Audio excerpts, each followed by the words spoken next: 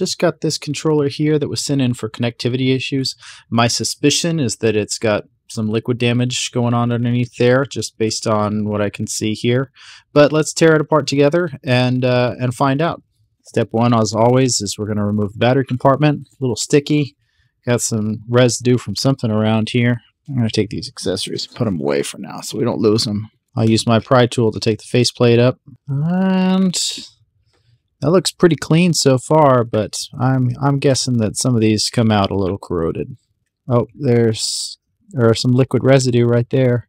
I, I have a feeling sometime, most of the time, I would say, when we get in these connectivity issue, power up issue uh, controllers, it's it's a liquid damage thing and not an impact damage thing. It doesn't change the repair too much, except for the fact that it just consumes more repair parts. So every every controller repair just about needs to be torn down completely uh, in order for us to repair it. But these liquid damage ones, they're they're the worst by far. If you if you can keep your controller away from from liquid, from water in any way, definitely definitely do that. I see some corrosion right there. See, you can always tell. There's almost always a screw that kind of gives it away even before I've torn this controller all the way down. Now that we've got all those screws out, we can take the ring apart and yep, it's got some sort of liquid everywhere. This tracking sensor looks green. Take it down the rest of the way just to confirm. Well, so far it's pretty clean, except for the tracking ring. Let's see what we got here. No corrosion on the battery compartment cable. That's a good sign. I'm not seeing any obvious corrosion on the ribbon connectors. That is stuck in there pretty good. Some are worse than others. Some just pop right out. I've not figured out the exact rhyme or reason to it, but some of them just like magically come out. Let's see how we're doing on this.